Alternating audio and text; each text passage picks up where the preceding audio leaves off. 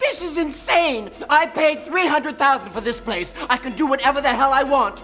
I'm the one getting downsized, outsourced, bidding for jobs against slave labor coders in Bangalore. If I don't work a 90 hour week, I don't make the mortgage. And no friggin' coat spook is gonna tell me how to. Oh, Don't kill me, please. I, I, I got a house and a, and a, and a mortgage and, and kids, and I, I, I, I don't have any insurance. How, how are they going to support them? What we're gonna do is give you the antidote, but then we have to wait another minute, and then we're gonna give you the poison again. I don't want to die like this. Don't, don't poison me again. I'll, I'll give you the money anyway, I swear.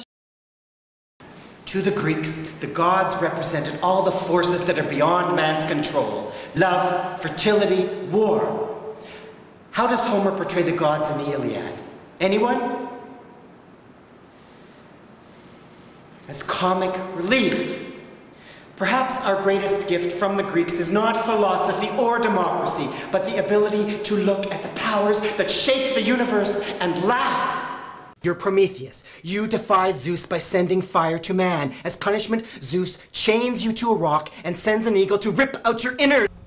Paid Turk to beat me, Tim? I paid him to play you. You took care of the rest. I suck, I'm quitting. Oh, come on, it's only one match. Whatever happened to losing makes you stronger. When I said that? Yeah, you say a lot of bullshit. Maybe from now on you should just shut up and play. Holy shite, it's supper time. Doesn't anyone care about the grub anymore? Simmer down, Pa. He's got to get Alice back. Don't you ever say your uncle don't do anything good for you. What's his name? I named him Sparky. Sparky, that's a dog name. Well, so's Rusty. But what can I do about that? Can we keep him? You can keep the tank. But what about Sparky? He's dinner.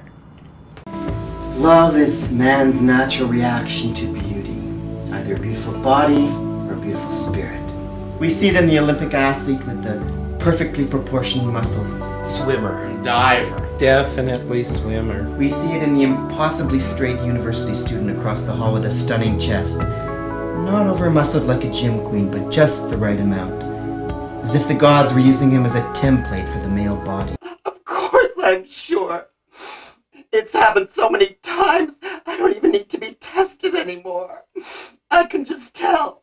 and God knows I've done everything humanly possible to prevent it.